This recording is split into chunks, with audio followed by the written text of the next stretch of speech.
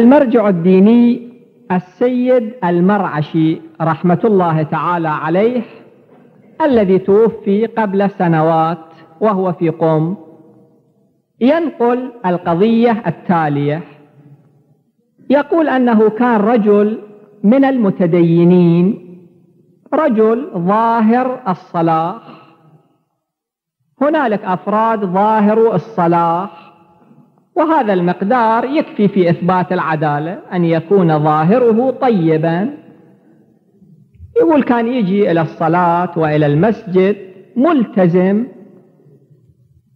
وأنا على مرور الأيام وثقت به لأن ما شفت منه شيء. كانت هنالك أموال لعمل معين لا علينا بذلك العمل. أنا كنت أدفع إليه تدريجيا لأن رجل فقيرا كان أيضا. أدفع إليه هذه الأموال ليقوم بذلك العمل عمل من الأعمال في مرة مثلا ألف تومان في مرة عشرة آلاف تومان في مرة عشرين ألف تومان.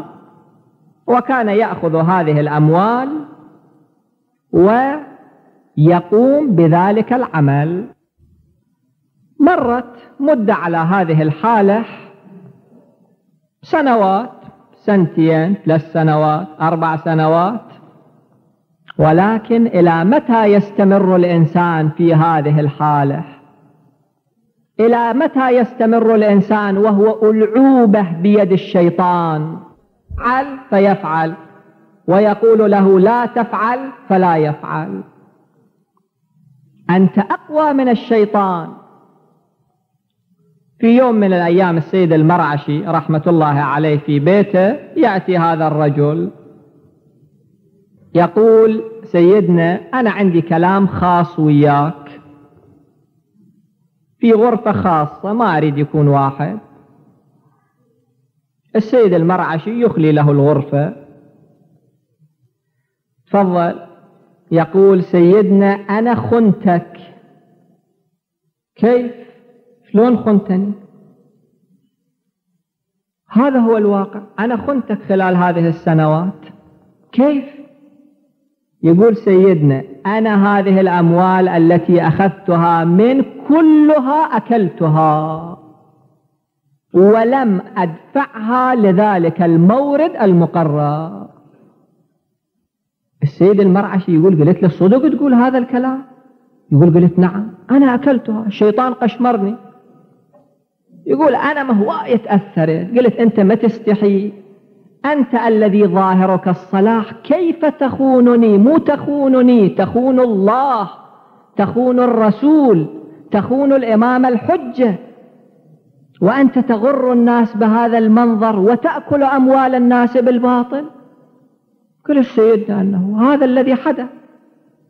الآن ما هو تكليفي؟ أنا الآن نادم على ما مضى ومستعد لكل ما تقول. يقول قلت أنه نحسب كل هذه الأموال. حسبنا هذه الأموال طلعت كمية كبيرة جدا. قلت له أنت يجب أن تدفع هذا المال كله حتى تبرأ ذمته. قلت إذا دفعت هذه الأموال تبرأ ذمتي السيد قال نعم. يقول هو حسب طلع مبلغ هائل.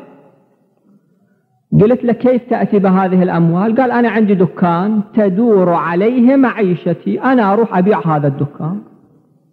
قلت فمن أين تعتاش إذا بعت الدكان؟ قلت رزقي على الله. المهم أنا أتخلص من هذا الشيء الذي في رقبتي.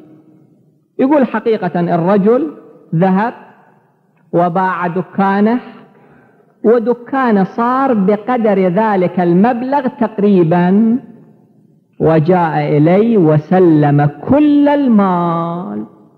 بعد دكان ما عنده عيش ما عنده يجب أن يذهب ويستجدي. ولكن هذه هي الإرادة الشجاعة. الإرادة الشجاعة هذا معناته حتى إذا كل نظام حياتك يختل ولكن وللآخرة خير لك من الأولى.